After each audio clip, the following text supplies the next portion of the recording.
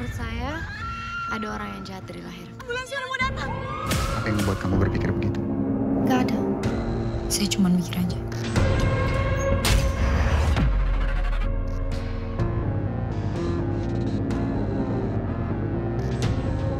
Saya rasa banyak di kota ini orang-orang menyimpan rahasia. Dan mereka semua terkait dengan Alisa. But I'm so ready to party. Itu malam Alisa ngilang. Menurut lo siapa yang ngambil fotonya? I have no idea. Emang benar ada yang tahu-tahu mata-matain kita. Eh tahu semua rahasia kita. I can't believe you would do this to me. Lu punya perasaan baru ngerasain aja rasanya dijebak. Permainan baru selesai. Kalau gue bilang selesai. You just getting started.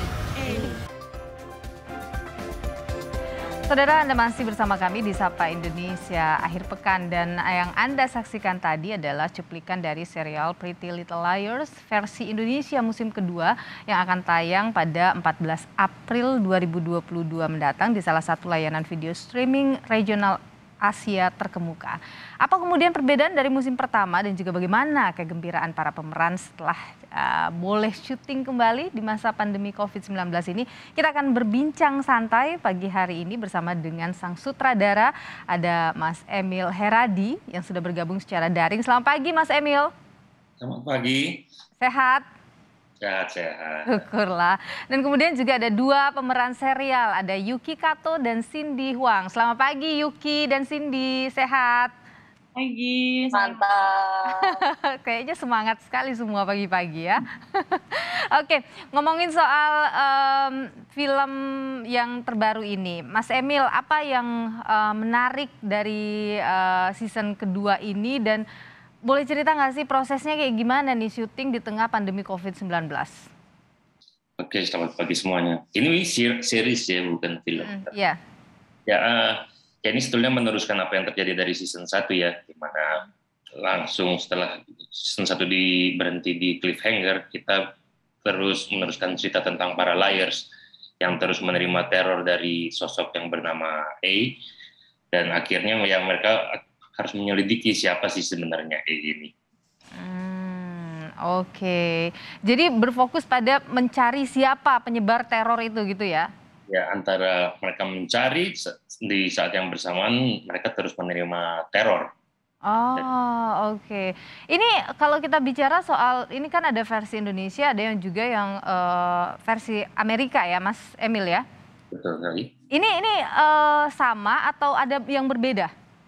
Ya kita masih mempertahankan apa intinya ya. Jadi kira-kira 70% sampai 80% kita mempertahankan isinya, sisanya kita harus sesuaikan dengan apa ya yang lebih cocok buat kita di sini di Indonesia dan di Asia. Oh, misalnya dari sisi apanya, Mas? Misalnya? Misalnya ada karakter eh, E- Emma yang Hmm.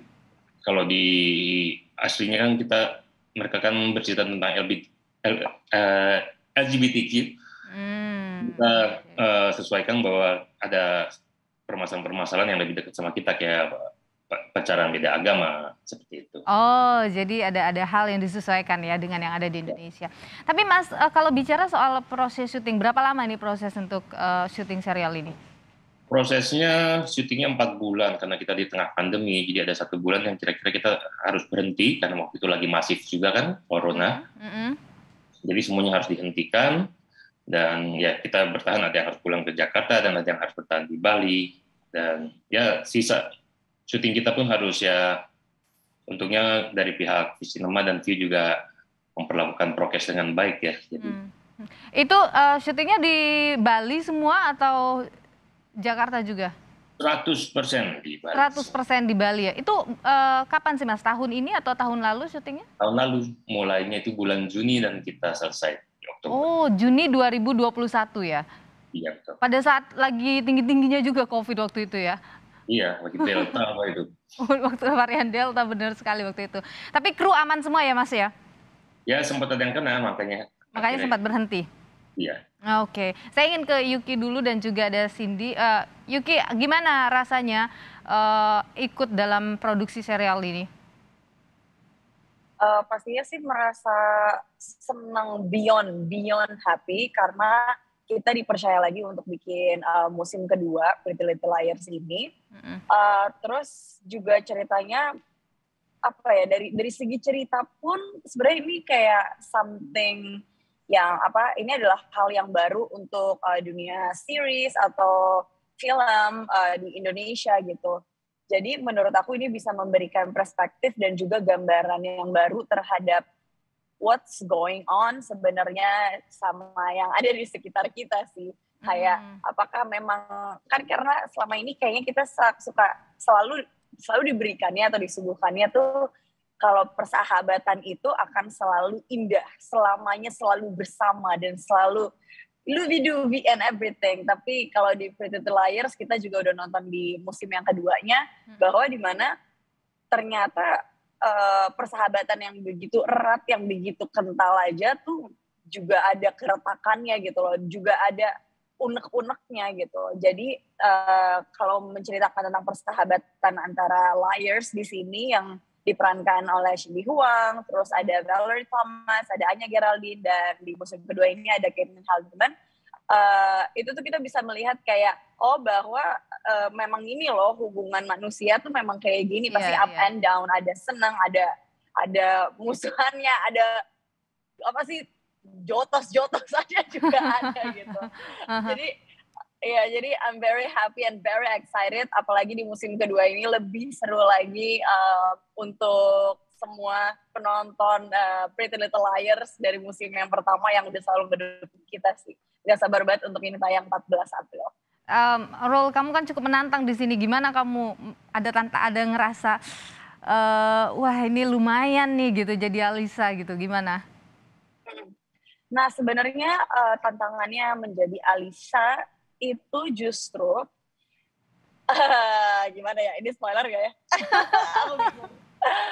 Jadi justru tantangan dari season apa dari musim yang pertama itu tuh uh, tantangan untuk mendapetin chemistry sama keempat cewek lainnya yaitu sama para liars. Hmm.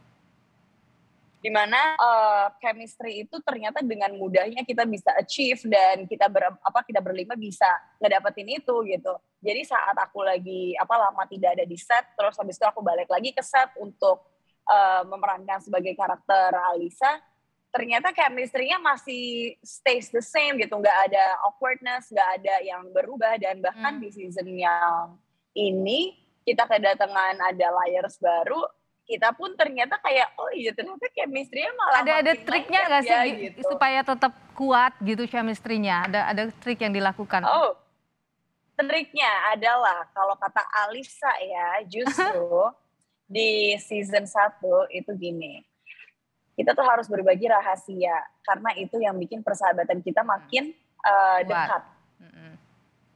gitu Oke. Okay. Itu kata Alisa. Jadi mungkin ke bawah ke dunia, dunia nyata. Yeah. Jadi kalian jadi sahabat nih semua pemeran ini nih.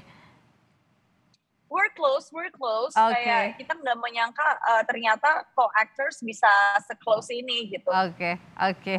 Baik, kalau gitu kita coba tanya Cindy nih, benar nggak kayak gitu? Cindy gimana? Selama proses syuting harus bangun eh, chemistry dengan yang lainnya uh, tantangan karena di sini Cindy berperan sebagai Arya ya, remaja yang uh, nyentrik gitu. Gimana Cindy? Nyentrik sih Arya tuh emang nyentrik banget.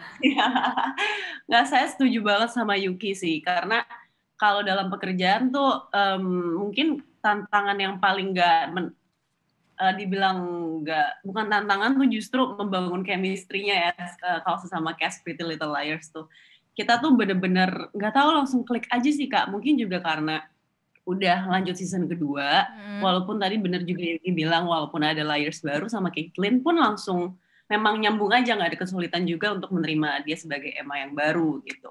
Karena kita uh, mungkin dia udah ada kayak benang merah Emma-nya juga ya jadi kita terima juga langsung gampang. Kalau tadi kayak uh, Alisa bilang berbagi rahasia itu juga bener banget sih kak. Mungkin bisa uh, jadi di kehidupan nyata kalian berbagi rahasia nih?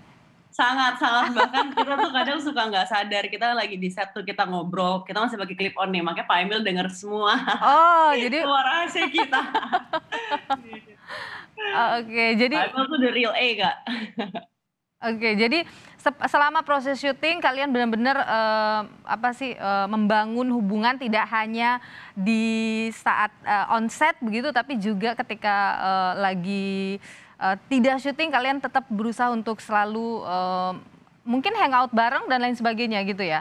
Uh, dan masalahnya uh, dan lucunya tuh itu nggak uh, itu organik banget sih kak. Jadi kita nggak okay. berusaha juga wah kita harus deket nih karena kita harus bangun chemistry ya oh. langsung aja emang deket kayak bener-bener susah dipisah lah. Bahkan sampai kadang kita sering dikomplain okay. jangan terlalu berisik jangan terlalu ngobrol.